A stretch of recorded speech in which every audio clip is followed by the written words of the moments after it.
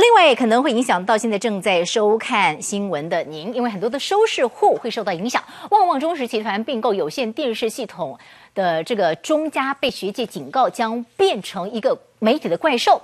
那么学者就发起联署，要求 NCC 必须要召开听证会。结果，NCC 发言人陈正仓不回应，一级主管也拒绝说明审查的进度。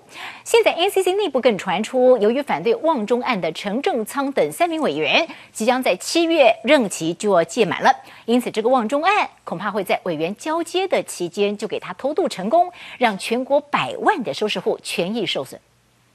那个问题，那个问题非本会非本人所能回回应的。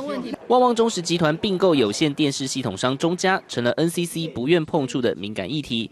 身兼发言人的副主委陈振仓避而远之，NCC 及主管也以休假为理由不说明进度。有关百万用户的并购案，没人知道 NCC 打算怎么做。NCC 这边应该要主动的去来跟大家说明整个的这个进度以及审查的一些呃过程。旺旺中时旗下事业体庞大，无线电视台有中视，卫星频道有中天，再加上平面的《中国时报》《工商时报》还有《时报周刊》等，集团版图横跨平面及电子媒体。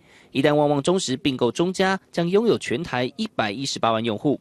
换句话说，旺旺不只能决定提供什么样的节目，还能决定你家里能不能看到其他台的节目。对台湾言论自由是一大挑战。老板的一些言行是不是会影响到他的媒体的言论的走向，也是一个必须要去关注的地方嘛？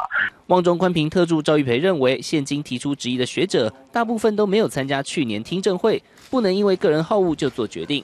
但以陈振仓为主的三名委员，今年七月任期届满。到时只剩下苏恒等四名委员审查，旺中案恐怕在委员交接期间闯关成功，百万用户的权益就这样被少数人垄断。一电视综合报道。